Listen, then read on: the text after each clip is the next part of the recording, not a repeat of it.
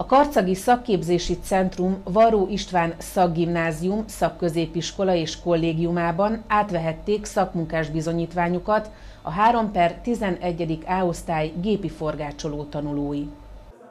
Fodor Csaba osztályfőnök itt adta át a diákoknak a ballagási tarisznyát és az osztálytablót. Majd Szabó István igazgató, valamint Győri József és Sánta László a vizsgabizottság tagjai kívántak sok sikert a munkához a diákoknak, akik közül többen maradnak ősztől másik szakképzésre.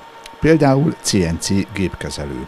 A gyakorlati vizsga sikerei után az elméleti eh, vizsga, ami írásbeli kérdésekből állt, feladatai közül ugye elég nehezek is voltak, többen is mondták a gyerekek, akik versenyen voltak az a tanév során, hogy szinte olyan feladatokkal találkoztak a versenyen is, a szakmai versenyen.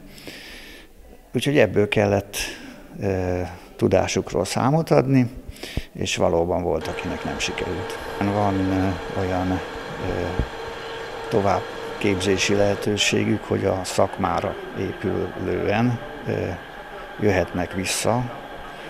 Így a gépi forgácsolók konkrétan a CNC szakmára, de jöhetnek az érettségi adó nappali képzésre is. Viszont októberben, ha sikeres lesz a pótírásbeli, akkor maradhatnak ezeken a tagozatokon. Hát jelenleg ugye ez a képzés, ez, ami az iskolánkban eddig is lehetőség volt megszerezni szakmákat a ide érkezőknek, az továbbra is megmarad.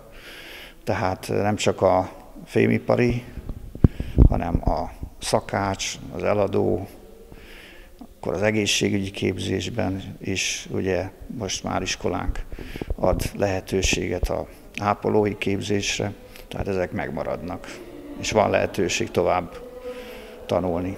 A másik osztály fele a központi fűtés és a gázhálózat rendszerszerelők már az elmúlt héten megkapták a szakmunkás bizonyítványukat, és ott is van, aki szeptembertől a második szakmáját is a varróban kezdi tanulni.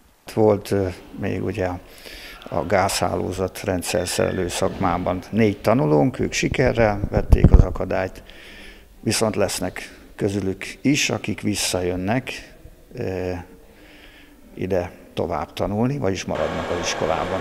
Mivel keresett a szakmájuk, és igen, jól is lehet vele keresni szó szerint, e, mindenképpen megfontolás alá javasoltam, hogy mehetnek dolgozni, és esti képzésre is jöhetnek ezáltal vissza az iskolában.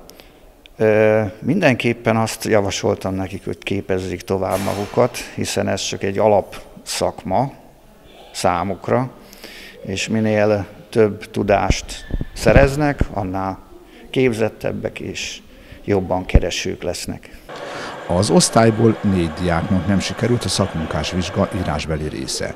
Ők ezt októberben megismételhetik.